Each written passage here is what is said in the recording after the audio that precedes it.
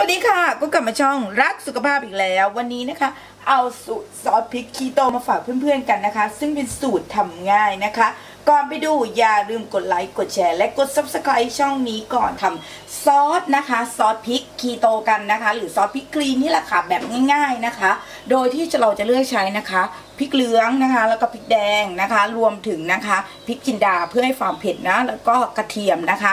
และก็น้ำซุปที่เราทำนะคะ รวมถึงเกลือนะคะ อันนี้เป็นเกลือสีชมพูเนาะและน้ำนะคะ เวลาปั่นมันจะได้ง่ายขึ้นนะ ซึ่งเราจะใช้น้ำอยู่ประมาณ 250 ml นะคะ เพราะว่าเรามีในส่วนของน้ำซุปแล้วเนาะเดี๋ยวเรามามาเริ่มกันเลยค่ะ ขั้นตอนแรกอย่างลงในโถปั่นค่ะ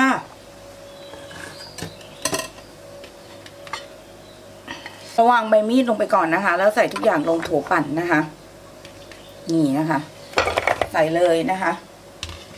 ใส่เลยนะคะใครจะหั่นก็ได้นะ ถ้าหั่นมันจะดีกว่านี้อีกนะมีความรู้สึกอย่างนี้หลังจากนั้นค่ะ ให้ใส่ในส่วนของน้ำซุปนะคะ และน้ำที่เราเตรียมไว้ค่ะ เดี๋ยวเรามาเริ่มปั่นกันนะคะหลังจากนั้นเราปั่น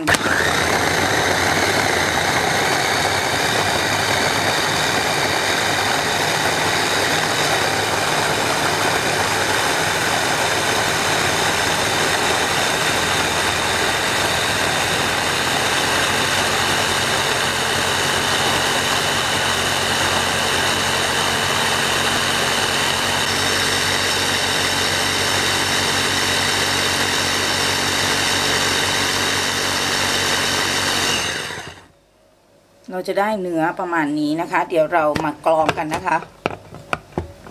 ค่ะ เดี๋ยวเราจะกรองกันนะคะ โดยเราใช้ลักษณะอย่างนี้นะ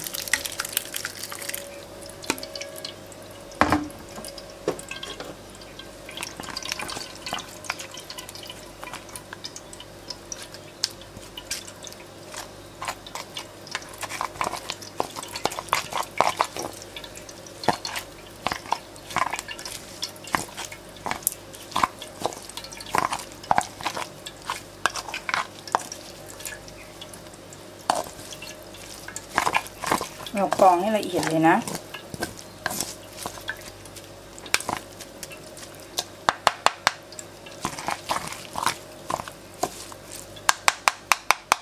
เดี๋ยวเราไปตั้งไฟกันค่ะ ทีนี้นะคะเราจะตั้งไฟกันนะคะ โดยที่รอมันจนงวดนะคะ แล้วเราถึงจะใส่ในส่วนเกลือกับน้ำส้มสายชูกันนะคะแอปเปิลไซเดอร์นะคะ เดี๋ยวเราจะตั้งกันไปเรื่อย ๆ นะ มันจะเคี่ยวเดี๋ยวมันจะเห็นนะคะ ค่ะ ทีนี้นะคะเราก็เริ่มตั้งไฟเนาะรอให้มันงวดนะคะ แล้วจะใส่เกลือปรุงนะคะ รวมถึงนะคะ น้ำส้มสายชูนะคะ apple cider นะคะ ค่ะหลังจากนั้นนะคะปรุงรสด้วยเกลือค่ะ